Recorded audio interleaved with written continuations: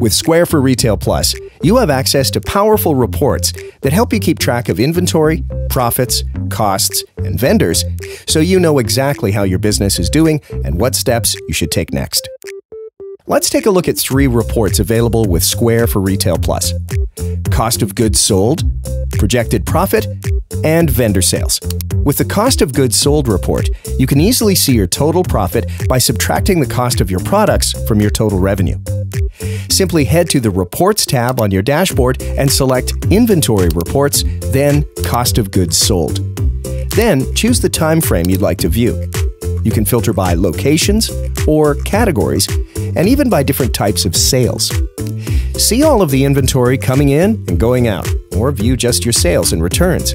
You can include recounts or sales and losses. You'll see how many units were sold and the cost, revenue, profit, and profit margin. You can use this information to more accurately price items and control costs. Next up, let's dig into the projected profit report. This report predicts the potential revenue and profit of your inventory based on past data and the stock you've received. You can access it under Inventory Reports. Filter the data to see how a specific item, location, or category may perform. Now, like a crystal ball, you can get a glimpse at your future profits and use these insights to guide your next step.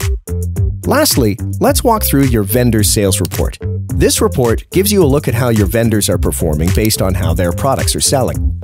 Click on a vendor's name to get a breakdown of how many items they've sold and the gross sales of their products. With this data, you'll know which vendors are bringing the most money into your business so you can make better decisions about who you work with. Square for Retail Plus gives you all of these reports and more so you can more easily spot trends, make decisions, and grow your business.